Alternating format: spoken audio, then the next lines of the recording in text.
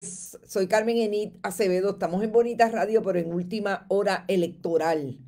Lo que me parece que es importante compartir con ustedes si tiene que ver con el momento electoral en que estamos, el año electoral que empezó bien caldeado. Esta mañana hablábamos de lo que ocurre en el área del judicial, ese pleito entre Victoria Ciudadana o realmente entre el Partido Nuevo Progresista,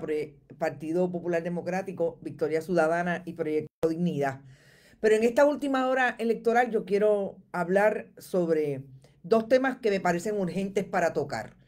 y tienen que ver con una eh, publicación que acabo de colocar en la página de Facebook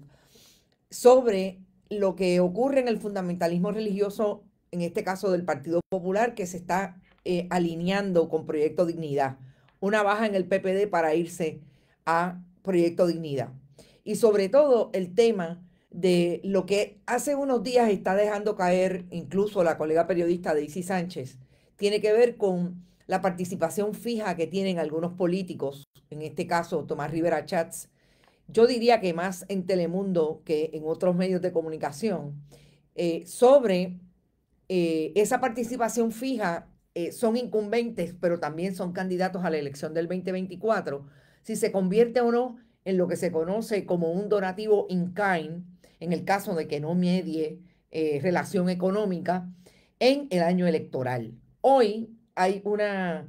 pregunta directamente a la oficina del Contralor Electoral por una, eh, entiendo que es candidata de Victoria Ciudadana por el área de Caguas, no sé si es distrito representativo, eh, pero de hecho es una internauta de nosotros hace mucho tiempo.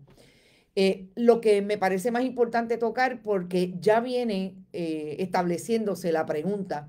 de si en efecto eso constituye, esa participación constituye un donativo in kind o finalmente si hay intercambio de dinero, constituye un donativo de ese medio de comunicación para el candidato. Vamos primero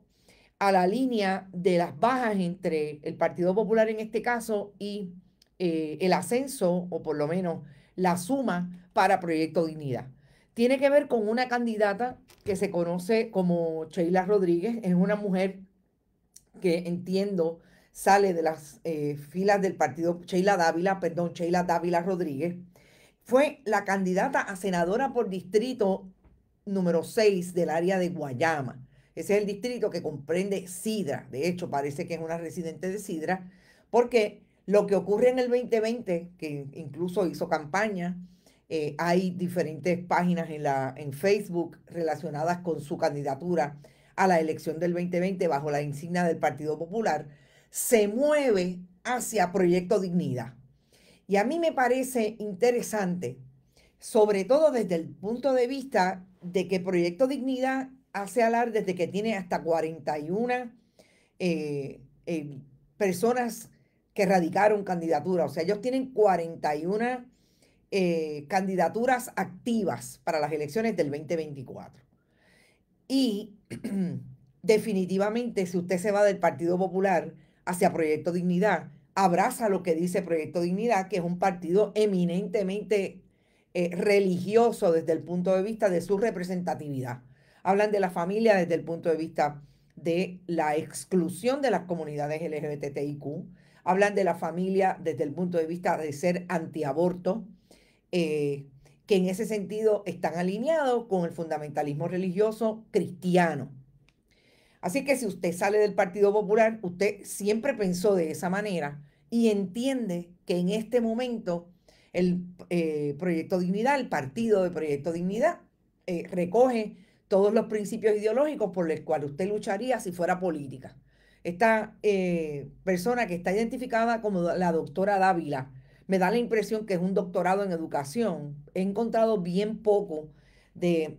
qué trabajo o eh, qué, qué profesión ejerce, porque lo único que encuentro en una red profesional habla de que tiene experiencia en mercadeo, así que no sé si su doctorado es en educación o es en comunicaciones, pero es esa persona que ha decidido irse para Proyecto Dignidad. Nosotros hablábamos de, en algún momento, de las veces que hemos traído la información de Proyecto Dignidad como nueva colectividad, es a quien podría restarle votos. Sabemos que hay un grupo en el Partido Popular, empezando por el presidente del Senado, que es un fundamentalista religioso que habla desde eh, las mujeres que abortan son asesinas, etc. Y, pero me parece interesante que ya estén empezando a surgir y a visibilizarse esas posibilidades de personas que estuvieron en el 2020 con uno u otro partido y ahora eh, van a sumarse a Proyecto Dignidad. Definitivamente en el caso del PNP, el más visible es el ex, el alcalde, perdón. Siempre le digo ex, el alcalde de San Sebastián, Javier, em, ya mismo le recuerdo el apellido, eh, Javier Jiménez, que es eh, el más visible por haber sido alcalde de San Sebastián por mucho tiempo, tres, tres elecciones bajo la insignia del Partido Nuevo Progresista, y definitivamente eh, su vinculación a esos temas eminentemente fundamentalistas religiosos que tienen que ver con el aborto, tienen que ver con lo que él entiende es la familia, eh, el asunto de eh, la conspiración y los, los antivacunas y cómo se eh, desplegó públicamente cuando el tema de la pandemia. Así que ahí están. Póngale otro rostro a esos que de un lado se van a otro. Sobre todo porque yo creo que aquí poco se ha hablado del impacto que puede tener Proyecto Dignidad en este ciclo electoral. Y yo creo que haber logrado 41 personas que estén dispuestas a alzar la bandera del fundamentalismo religioso desde ese proyecto específicamente, eh, yo creo que es importante verlo y cómo le va a afectar en la elección a los demás partidos que han tenido posturas fundamentalistas religiosas y conservadores. El segundo tema y último tema para este momento es ese tema de si en efecto lo que es una participación fija, en este caso se ha cuestionado la de Tomás Rivera Chats, eh, hay que decir que en algún momento en la elección pasada, eh, Juan Dalmau tuvo alguna participación fija. En este momento creo que un domingo sí y un domingo no en, en Guapa Televisión, lo que es una diferencia abismal con el Partido Independentista, pero hay que obviamente ponerlo ahí igualmente es la participación que tiene desde el año pasado eh, Tomás Rivera Chats con eh, un canal de televisión, un programa que tiene por lo menos tres instancias semanales. Eh, y en ese caso es primera pregunta. De hecho, está todos los días, pero no sé honestamente si ellos están todos los días. Esa diferencia tan abismal entre unos y otros la pregunta está, y yo creo que lo lanzo a manera de pregunta porque soy honesta, creo que quien debe contestar esto es el Contralor Electoral. Eh, y yo me imagino que si yo lo llamo, me va a plantear, eso no está traído ante mí, tiene que haber una querella con relación a eso, pero empieza a moverse la discusión pública de si en efecto eso puede constituir un donativo en época de elecciones. No olvidemos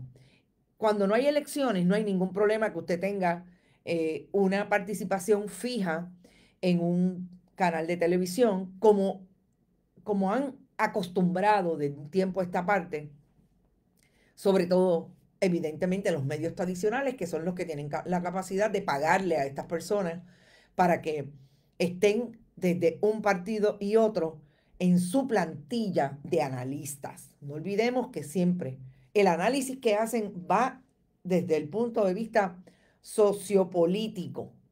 incluso los asuntos económicos, pero obviamente partiendo de esa visión, de esa, perdón, de, de esos temarios y de esas temáticas sociopolíticas. A mí me parece importante porque nosotros estamos viendo cómo el nivel del financiamiento de las campañas eh, va a ser un tema puntual en esta campaña y dentro de ese financiamiento de las campañas y cómo los diferentes intereses se colocan con unos y otros para tratar de que ese sea el partido, la persona que gane en las próximas elecciones, por las múltiples razones y justificaciones para eso, yo creo que es la primera vez que podríamos ver, atender el impacto que está teniendo un medio de comunicación tradicional o puede tener en cierto grupo de la población, para que se pueda cuestionar si eso es un donativo político. Y lo más interesante, ya no es un donativo político de una persona en particular que tiene un negocio que quizás quiera tener contratos con el gobierno, como hemos hablado en muchas ocasiones, que se evidencia el asunto del quid pro quo en términos del donante y el contratista más tarde. Estamos hablando de medios de comunicación. Estamos hablando del de el proyecto, el aparato que debería tener la posibilidad de balancear sus discursos para que el país tenga información suficiente y tome sus decisiones, independientemente de la machaca, la machaca, la machaca, de tener a alguien que va a correr, por ejemplo, un Tomás Rivera Chats va a correr para senador por acumulación y todos los demás entrarían en desventaja. La pregunta, por toda la exposición que está teniendo Tomás Rivera Chats con ese posible donativo in kind o en efecto pagándole tanto mensual? Yo creo que es una pregunta importante, yo creo que, que es un asunto que debe atender no solamente el Contralor Electoral, sino a nivel de todos los partidos políticos.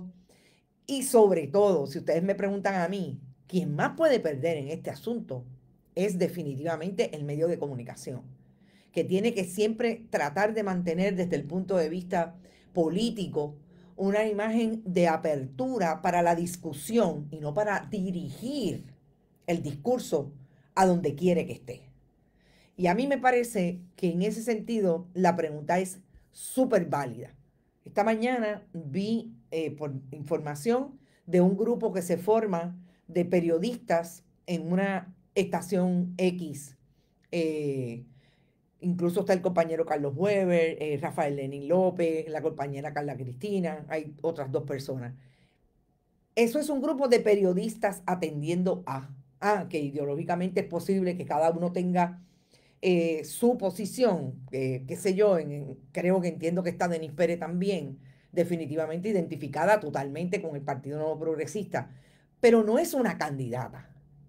no es un candidato no tiene ventajas sobre otros candidatos, que es lo que realmente se debe cuestionar en año electoral. Ahí se los dejo, esta es mi última, eh, mi última hora electoral, nosotros nos vemos a las 5 en Que Palo es Noticia, tenemos bastante información y análisis de lo que está ocurriendo eh, o ha ocurrido después que terminamos el programa esta mañana a las 12, así que nos vemos ahorita.